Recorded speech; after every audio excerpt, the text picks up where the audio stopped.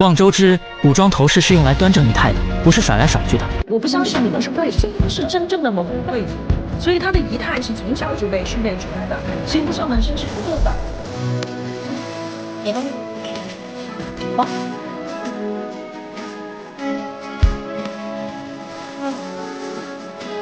同样是妃子坐轿，《甄嬛传》里的每一个小主都各有姿态，华妃凤仪万千，甄嬛孤傲惊艳，宜修霸气腹黑。反观你如里的轿子，都用来当救护车了。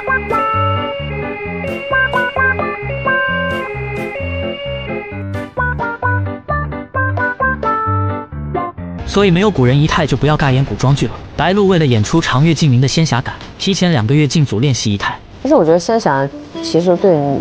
就是窄度的要求会更高一些。我那衣服，它为了好看，为了它显得它层次多一些，它可能有六七片衣服。看看他之前弯腰又耸肩的样子，总是被网友嘲笑像汤姆猫。于是不管是拍戏还是录综艺，他都穿上了贝贝佳，而且一直从去年穿到了今年。如今他身姿挺拔。背又薄又直，真的演出了仙子的轻盈感。平时就会穿这个护腰，嗯，因为其实我腰不好，其实大家都知道，所以要使用我们贝贝佳呀，或者说日常要下意识的去形成这个记忆。白鹿在成功改善体态后，还将自己的秘诀告诉了好朋友王鹤棣。要知道他以前也深受驼背困扰，拍戏时导演都看不下去。挺胸挺胸挺胸，不要驼背。自从听取白鹿的建议，穿上贝贝佳后，一跃成为气场全开的东方尊上。作为演员，就是应该的，就是基本的东西。还有贝贝佳什么，以前我也在现场也背过贝贝佳。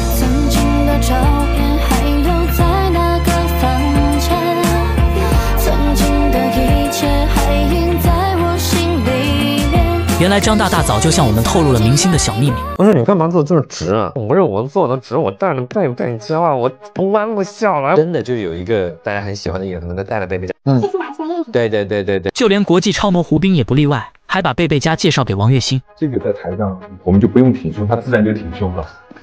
穿你，穿你，对啊，穿你呀。当你以为贝贝佳是智商税时，他在明星圈子里早已是人尽皆知的秘密武器。我比如说拍古装戏的时候，我就会穿上贝贝佳，肩膀的话就会挺一些，这样背上真的想驼背都弯不下去。所以我就每次穿了得有十层，里面还背了一个贝贝佳。那贝贝佳坐的时候，你站是这么直，坐的时候也是这么直。啊贝贝佳是脖子是不是长了？这个这里一打就开了，没有脖子前侧能凸前我们小时候都是戴贝贝佳。一米之内看脸蛋。一米之外看气质，一个人的体态好不好，第一眼看的就是肩背。如果平时的你也有体态问题，特别是驼背和脖子前倾，戴上这个，一拉一贴，一秒开肩开背，立体剪裁贴合身材。秋天套在衣服里穿也很自然，而且你会发现，当肌肉回归到一个正确的位置上之后，像那些平时酸痛的问题都有所改善。男女同款，大人小孩都能穿。这个贝贝佳明星都在戴，都在坚持。你买回去之后一定要好好坚持，适应两个月，你的改变也会被看见。